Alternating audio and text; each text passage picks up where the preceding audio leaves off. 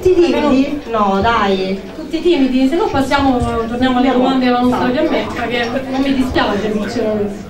Allora, visto che eh, stiamo parlando di derby, eh, la domanda che ti pongo è questa.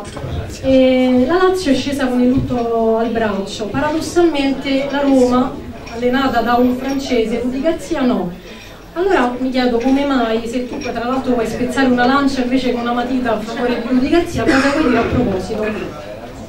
Guarda, io so che comunque loro sono scesi con la maglia di Ufficial Lee, però il lutto al braccio era dedicato ad un ex portiere biancoceleste, deceduto pochi giorni prima, Ruber Gandella, e quindi, e però comunque una lancia a favore di Garzia perché lui ha praticamente il giorno prima del derby in conferenza lasciato delle matite sulle sedie dei vari giornalisti che avrebbero partecipato alla conferenza pre-derby e quindi ho trovato questo gesto molto bello. Però come è stato detto anche a diversi giornalisti, la matita è stata consegnata a 30 persone, invece la maglia comunque ha un maggiore riscontro mediatico, l'ha vista al mondo.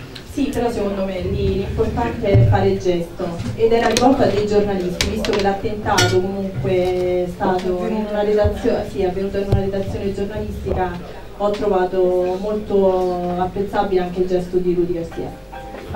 Quindi secondo te la Lazio non ha vinto il derby nel sociale? No, l'ha vinto. Voglio sfrugugliare un po'. No, no, no, l'ha vinto, anche la Lazio ha saputo ha fatto il giro del mondo con questa maglia del Richard lì, però l'ha vinto anche Garcia. E poi penso che lo senta davvero essendo francese, quindi. Perfetto. A proposito di Lazio, parliamo sì. So già dove vuoi so perché.